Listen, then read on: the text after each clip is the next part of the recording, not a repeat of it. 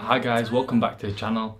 My name is Ryhan. I am a fourth year, well, technically a fifth year intercalating student at Imperial College in London doing management and this is the third time I'm trying to record this video. The first two times I recorded it I didn't like it so I put it on my laptop, checked it out and I was like nah this is, I need to do this again. So this is the third time I'm recording this video and in today's video, we're going to be talking about how to basically fund your elective because electives are expensive and you need to find out how much it roughly costs and how you're going to fund it. So, to give you a brief summary how much my elective cost me, I would probably put the figure at four and a half thousand pound. It doesn't have to be that expensive, but it can also be more expensive. And this video will be split into three parts. So I'll be talking about how much it roughly costs, where you can find bursaries and grants, and finally, what sort of jobs you can get in order to pay for it. Big thanks to Projects Abroad for making this video possible. They sponsored my elective and in return, I'm going to be making some videos for you guys on how to prepare, to plan and to finance your elective. And also this my elective shirt, one that I got on holiday. So, to start off with, yeah, your elective is very expensive as I've said. Now, initially I wanted to go to New Zealand, and when I looked at flights for New Zealand, it was £1,000. You can buy a car, be it a sort of old and broken down car. Well, it doesn't have to be broken down if you're car savvy, then you can get a decent car for a thousand pound. So I was like, yeah, New Zealand's off the cards. Then I was thinking China or Shanghai in particular, just because they speak English there.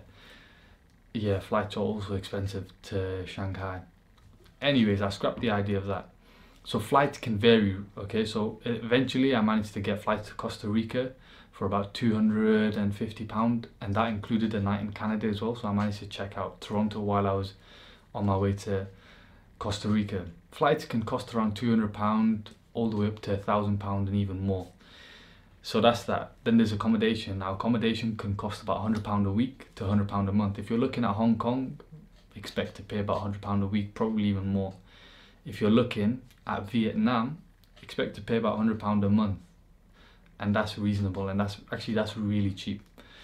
And then there's food, okay? So food, if you factor the cost of food in, in Costa Rica it cost me five pound for a loaf of bread and some Swiss roll.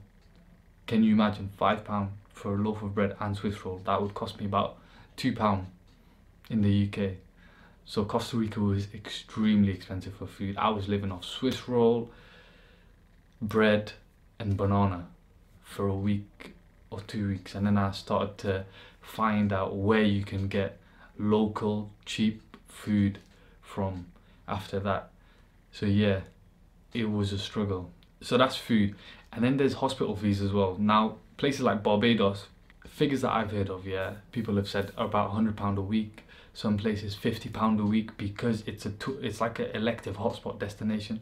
So they will exploit the students. That's why I went to Costa Rica. I didn't have to pay any hospital fees.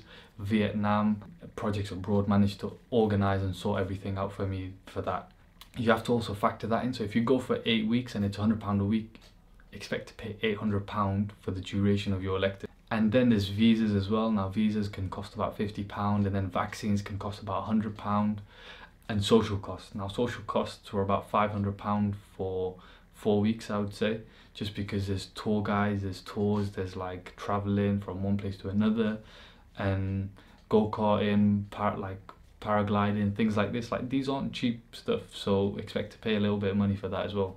In terms of like the two places you can look for bursaries and grants I would recommend the Royal Medical Benevolent Fund and the BMA database. So the Royal Medical Benevolent Fund has over like 30 different charities and organisations that give out bursaries and grants for people who are applying um, for, or to do their elective and they give it based on like specialties and stuff. So say for example you're doing a dermatology uh, elective in a country then the Dermatology Society will give you some money if you write them a CV or a personal statement. And the same with the BMA database. The BMA database, you have to have an account with the BMA, but it's free for medical students, so that's not a problem. And that's how you access the BMA database. But those are the two places you can find bursaries and grants. And believe me, there are a lot of bursaries and grants available and my friends have like managed to pay for a lot of their electives through these bursaries and grants so it saves you having to work or have a job to pay for these now the third part of the video i said was how can you make the money? The ways in which you can make the money i would recommend number one is tutoring okay? So tutoring you can make around 30 pound an hour. Some places 15 pound an hour some places 50 pound an hour. In london some hotspot destinations okay? So there's a lot of money in tutoring and there's plenty of places where you can find clients. So that's that. You can work as a waiter at a restaurant and restaurant waitering is actually really good money if you get good tips and if you work in a like a high class restaurant. So i worked in a really nice restaurant one time and well for a long time actually. And one night i got like 80 pound tips from one table just because i managed to get the customers to do some handstands and roly polies in the middle of the restaurant and they got very drunk and uh, we had a good laugh and eventually they started just throwing money at me just like yeah i was like okay i've done a good job. Brilliant i'm happy they're happy. But waitering is a lot of money as well.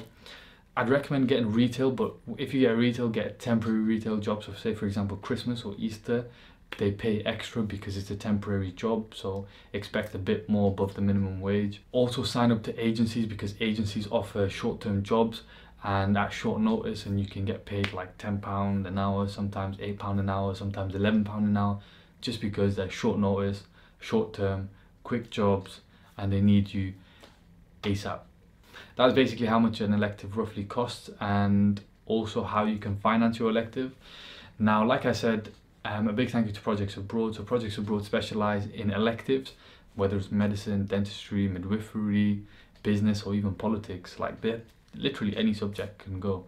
And they basically organise your whole elective for you, which makes it a lot easier. So while I was going through a stressful time and just I had a lot of things to do, Projects Abroad managed to organise everything for me.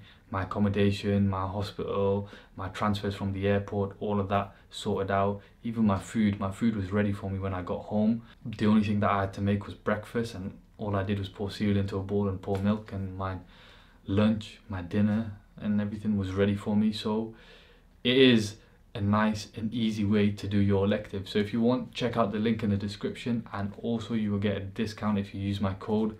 So make sure you check that out if you're thinking of doing your elective. But thank you for watching and bye for now.